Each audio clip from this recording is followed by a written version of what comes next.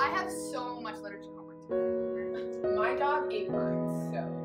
This day just isn't going right. I'm in such a bad mood. My bottle is half empty.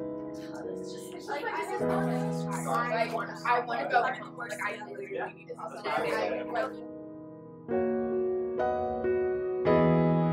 I I have have to- to- I I have have to to- read yeah. quick after this. Well, I think today's gonna be a great day.